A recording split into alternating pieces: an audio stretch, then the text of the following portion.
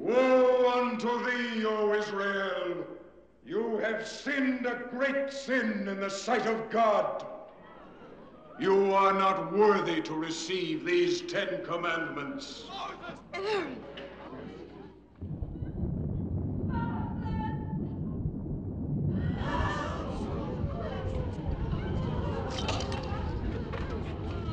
gathered against you, Moses. You take too much upon yourself. We will not live by your commandments. We're free. There is no freedom without the law. Whose law, Moses? Yours? Did you carve those tablets to become a prince over us? Who is on the Lord's side? Let him come to me.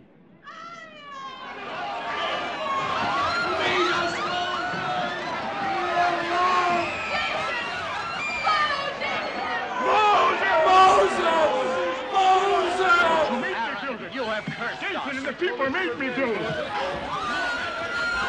Joshua! Joshua! He showed you no land flowing with milk and honey. I show you a God of gold. Come with me.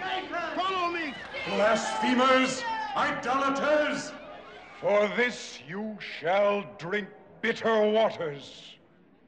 God has set before you this day his laws of life and good and death and evil. Those who will not live by the law shall die.